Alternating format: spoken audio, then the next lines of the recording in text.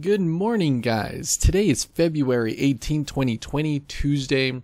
The markets are finally open, or about to be open, anyways. After a three day long weekend, President's Day was yesterday, and we have an interesting situation here. So, we got a signal at the end of the day yesterday, or excuse me, on Friday, and now uh, the markets are going to open below that lower uh, MOBO band, which is very interesting because at any point, if it closes below this lower uh, MOBO band, it's going to give us a sell signal. This is a very unique situation. Let's see where it goes. I'm not too inclined to get in, but let's see what happens. The markets are open here. You can see two conflicting signals because we're getting in on the open of the very next candle that we got the signal in but we're also getting a down signal because it's below the lower MOBO band. What about the Qs? Same deal with, with the Qs there. I went ahead and bought one call option of the 336 calls that expire in 8 days. Oh gosh, no. Cancel order. I did not get in. 336 calls. Markets. Okay, I got in this time. I got in at 296. This is a very interesting situation here. We'll see if we can get something going. I'm down a little bit. 291 by 294. Got in at 296. See now that down signal went away because now we're trading above that lower MOBO band. So I'm going to let this run for a little bit and I actually need to get ready for my day job.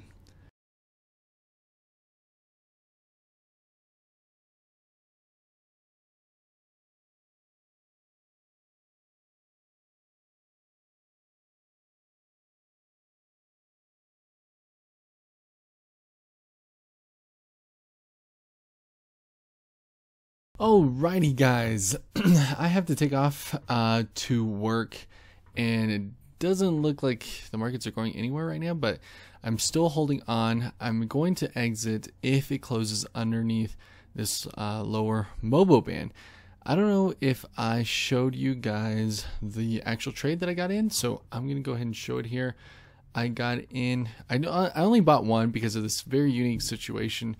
I bought the February 26, 336 calls that expire in 8 days. Bought in at 296. You can see here, eh, I'm down. I'm down, not a whole lot, but I'm down, and it seems like it's gonna close underneath that MOBO band. So we'll see what happens. We got about 34 minutes until the close of this candle and I'm only going to get out if it closes underneath that lower MOBO band. So stay tuned, guys.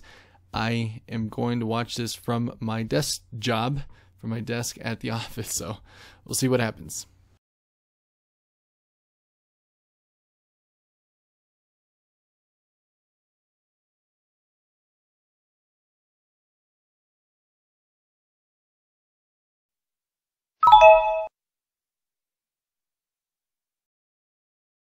What's up guys? This is Giovanni from the Options Trading channel. This is the end of the day quick recap of all of my trades today. I will show you all of my trades. I, I took a couple of trades, several trades to today. First of all, um, I want to talk to you about the SPY trade uh, the one that I actually lost money on. Let me show you that right now. You saw me execute that buy order at $2.96. I ended up selling at $2.64.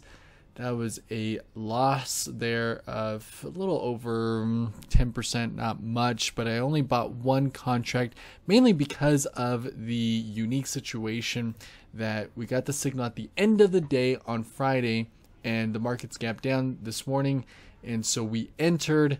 Um, but because it also closed underneath that lower mo- MOBO band, we went ahead and, and closed out that position. And then this was on SPY, of course.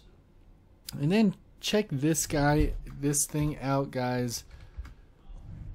I got another signal on the Qs and decided to trade it. And that is what you saw at the end of that video uh, the execution of the sell order for the 10% gain that I basically ended up breaking even for for the entire day. And that's a big win. That's a not a big win, but that is a win in my book. As we know, the saying goes, the stat is something of that nature of 90% of traders end up losing money. Well, I ended up breaking even today, and I'm okay with that. I bought two call options of the 234 calls that expire in 10 days, February 28. Uh, the Qs bought two of them. You can see here the number two, two contracts. I bought them at 287. Sold sold at 315 for a quick 10% gain. That that was the actual execution of what you saw right there at the end. I just let it go. I let it go. I recorded it. It all happened during my lunch break. On that second contract, um, I'm not necessarily upset about it, but I did see that it came back down uh, close to my original buy uh, price of 287 so I went ahead and sold at 289 but those calls actually ended up going back up to close to three dollar range. And then check this out. I don't know you know we, we don't know what's gonna happen at the open tomorrow but uh, the market definitely went a lot higher there after market. So I don't know if I did the right move or not. Actually, no, no, I, I did do the right move. I did the right move because it got back down to my original buy order. And that's my rule. My rule is as soon as I buy, sell half at 10% gain, sell the other half uh, for bigger gains, or if it gets back down to my original uh, buy order, I am going to sell out. So overall, today I actually ended up even for the day exactly. I just lost commission fees of maybe four bucks. So that's a huge win in my book, mainly just because I didn't lose money.